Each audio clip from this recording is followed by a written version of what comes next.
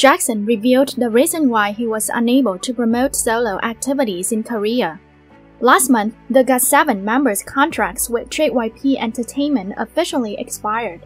After seven years, all seven members of GOT7 decided not to resign with JYP and went under different agencies to start a new journey. Although this does not mean disbandment, there have been a lot of mixed opinions surrounding the breakup between GOT7 and JYP. For fans of GOT7 who have followed the group since their debut and accompanied them through many ups and downs, the fact that all seven members left JYP make the fans happier than worried. Over the past seven years, the GOT7 community has repeatedly had to express dissatisfaction with JYP's unfair treatment towards GOT7 and in fact, just one month after officially leaving JYP, the GOT7 members started to become busier as they continuously appeared in various activities to meet fans different from when they were in their old company. Fans had more reason to believe that leaving JYP is GOT7's right decision after listening to what Jackson has shared recently. Jackson recently appeared on Get Real, a podcast talk show run by Dive Studio, and talked about a variety of topics, among them, what caught the attention of fans the most was the real reason why he did not promote solo activities in Korea during his years under JYP Entertainment. Talking about GOT7's intentions for the new year, Jackson said, I'm starting to work in Korea this year. We just finished a contract with JYP, but we're still in GOT7. We're still going to come out with songs, but this year, the majority of the whole year, everyone is just trying to prepare to do their own stuff.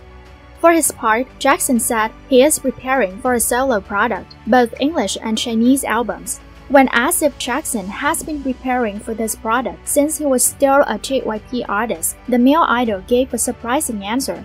I started that when I was 23. I worked as a solo over there. I could work everywhere except for Korea. That was the deal since the contract with JYP ended. I'm trying to bring everything back in addition to his activities with GOT7, while still under JYP, Jackson had released many solo songs in different markets such as China. However, fans had rarely seen him promote in Korea as a solo artist, and this had made many Korean fans sad and disappointed. However, after GOT7 left JYP, the fans learned that it was not Jackson that did not want to promote in Korea, but because he was not permitted to promote solo, since it was a condition in the contract with JYP Entertainment. Currently, when the contract has expired, Jackson has the right to promote solo songs in Korea and meet Korean fans through his personal activities. The things Jackson shared on Get Real shocked many fans, they could not understand why JYP introduced contract terms that could hinder the artist's development, especially since Jackson could grow stronger if the company knew how to promote him.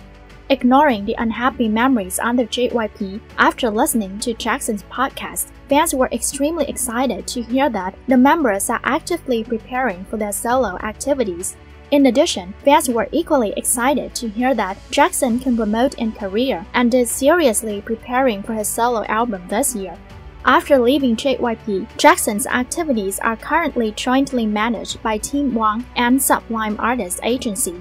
Sublime Artists Agency is also the agency of another GOT7 member, Youngjae.